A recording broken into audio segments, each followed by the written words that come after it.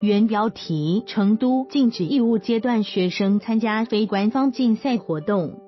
今天，成都市教育局、市公安局、市工商局联合发布关于全面清理举办、承办、协办违规竞赛活动的通知。通知全文，请在文末查看。在全市部署清理举办、承办、协办面向义务段中小学生的违规学科竞赛、考级等考测试活动，包括但不限于以冬令营、夏令营形式组织的竞赛、集训等选拔性考试测试活动。明却提出三条禁令：一是禁止举办、承办、协办未经政府部门批准的竞赛活动；二是禁止组织义务段中小学生报名参加未经政府部门批准的竞赛活动；三是禁止组织或变相组织与义务段入学、转学、插班挂钩的竞赛活动。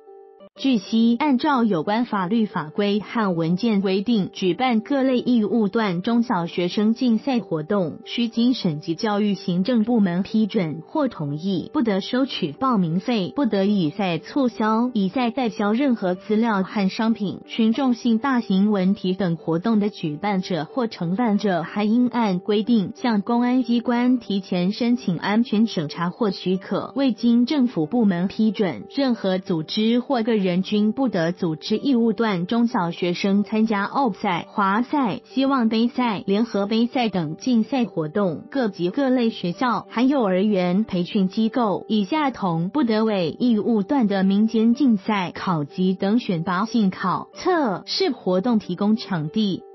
宣传渠道、考前培训、考务服务等。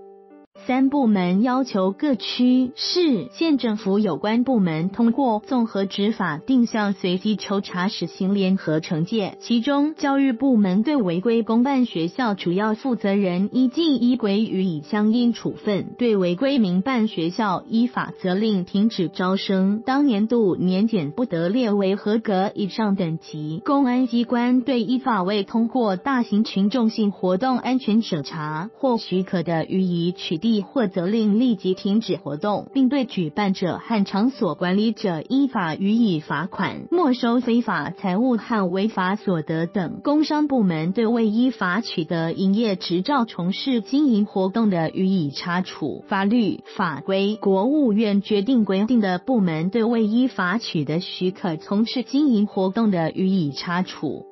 并及时向社会披露。一旦查实，限期整改，严格问责，查处不力、问题突出的，由上级主管部门责令整改。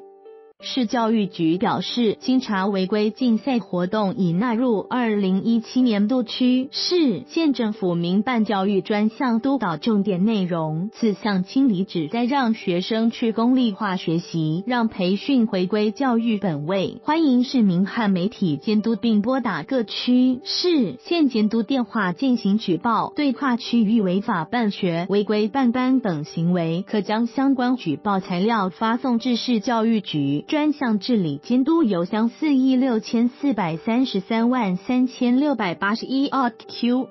com 来源：成都发布微信公众号，责任编辑：桂强。